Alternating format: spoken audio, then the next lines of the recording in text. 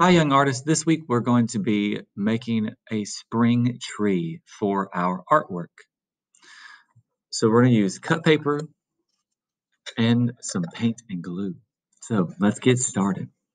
So you're going to get a big paper like this, and you're going to start off, your teacher's going to give you a very long triangular shape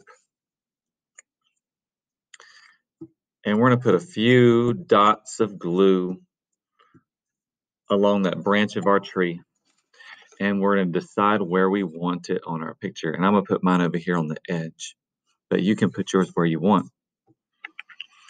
Then you're going to get a few branches that are a little smaller. And I'm going to put some dots of glue on those and decide where I want them on my tree. I'm going to put that one right there.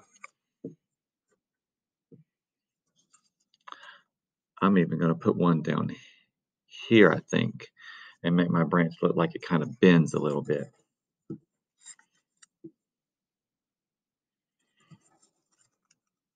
And I'm going to put one back here. And then you're going to get a few more branches that are even smaller.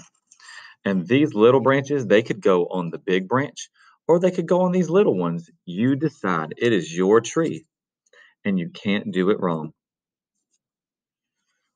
So I'm going to stick mine there. Ooh, maybe right there would be a fun spot.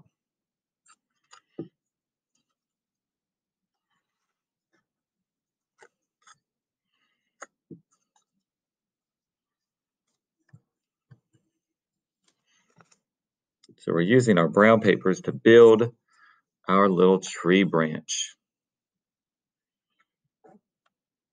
All right. Once you've built that, then you have a decision to make. You need to decide if you want to put leaves on your tree, which would mean you're going to use green paint. Or you might want to put flowers on your tree, if you're going to do flowers, you have a choice between red, purple, and pink. Those are the three colors of flowers we see a lot at the very beginning of spring. So choose a whether you want leaves or flowers and what color, and let your teacher know when they ask you. I'm going to do purple flowers. So I'm going to get a little bit of purple. And your teacher is going to give you a cork. And we're going to dip it. And then we're going to use that as our paintbrush this time. And we're going to dot it on there to make our flowers. So the purple flowers, we'll see some of those even around our school. They're called red buds. The pink ones are cherry trees. Those red ones you see will be our dogwoods. And the green would be any of our other trees that might not flower. They might get their leaves first. So decide where you want those flowers to be. You can put just a few, or you can put a lot of them.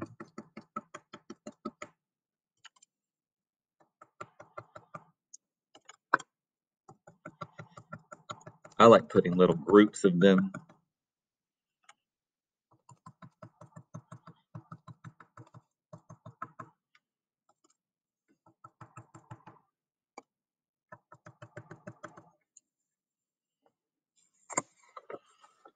And there are my flowers on my on my new little spring tree.